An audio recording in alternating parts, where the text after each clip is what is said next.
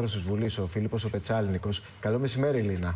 Καλό μεσημέρι. Μια θλιβερή είδηση. Η απώλεια του Φίλιππου Πετσάλινικου. Ευνηδιαστικά πριν από δύο ώρες έφυγε από την Βουλή, ο πρώην, από, τη την ζωή. ζωή, ο πρώην πρόεδρος της Βουλής, ο Φίλιππος Πετσάλινικο.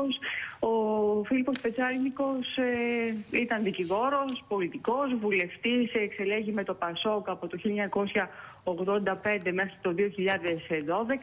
Διετέλεσε υπουργός σε διάφορα υπουργεία. Ήταν γεννημένος ε, ε, το 1950 στο Μαυροχώρι Καστοριάς από αγροτική οικογένεια. Σπούδασε νομικά στο Αριστοτέλειο Πανεπιστήμιο Θεσσαλονίκης. Έκανε μεταπτυχιακά στα νομικά και τα οικονομικά στο Πανεπιστήμιο της Βόνης ε, στη Γερμανία. Ε, ήταν από αγροτική ε, οικογένεια.